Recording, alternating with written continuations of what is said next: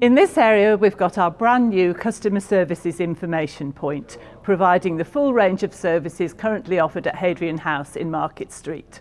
Customers will be able to pay their council tax bill, collect their bus pass and access all the other range of services that they're currently accessing at Hadrian House.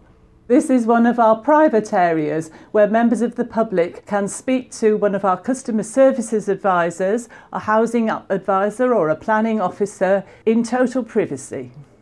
Here we have our really lovely new children's area. We're very excited about this. We've got a, super space in which we'll be having regular children's events, including story times, half-term activities, summer reading challenge activities. There'll be something on throughout the year for families and children. Here we have our fantastic teenage corner um, with a comfortable sofa and a wide range of books for young adults to enjoy.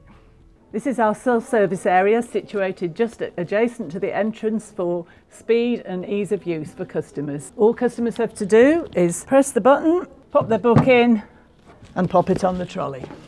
This is our brand new staircase which gives access to the mezzanine floor. For those people who had found our stairs a little bit challenging, we do offer a public access lift. For those of you interested in finding out more about your family history, we have a wide range of facilities here on the mezzanine floor. We've got four public access computers and these offer free access to the Ancestry and Find My Past websites. We also have study facilities which are particularly popular for our local youngsters during exam times.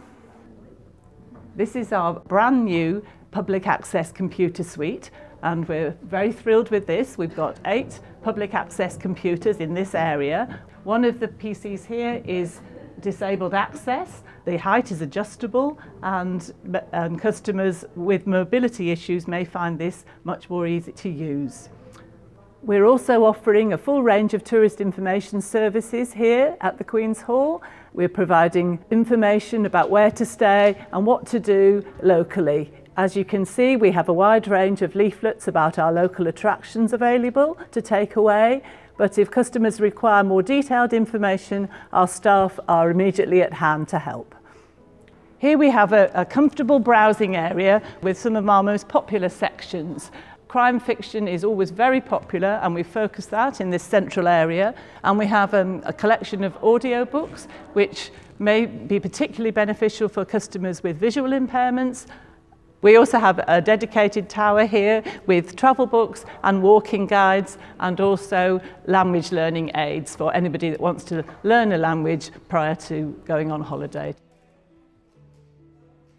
Um, here at the Queen's Hall we have a 340 seat theatre, a studio space, two galleries and a number of spaces where we hold workshops and other rehearsals, particularly working with a lot of young people in the area.